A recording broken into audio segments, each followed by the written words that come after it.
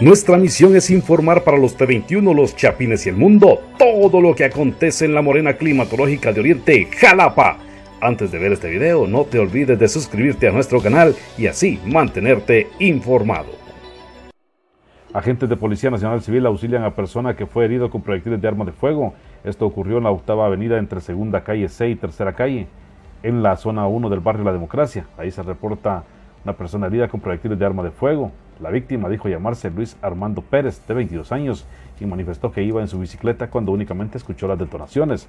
Fue llevado en una radiopatrulla de la Policía Nacional Civil a la emergencia del Hospital Nacional de Jalapa para que fuera evaluado por un médico de turno, ya que presentaba una herida de proyectil de arma de fuego en su extremidad inferior derecha y una en el abdomen, mismas que le ocasionaron sujetos desconocidos que después de hecho se dieron a la fuga. Pérez indicó que desconoce quiénes le dispararon. Él solo escuchó las detonaciones, pero no vio quién disparó. Y los proyectiles le fueron a impactar en su humanidad. Esto cuando venía de trabajar e iba en su bicicleta hacia donde se encontraba su esposa. Podría ser alguien que disparó sin causa justificada, porque no vio a nadie, descartando que fuera un asalto.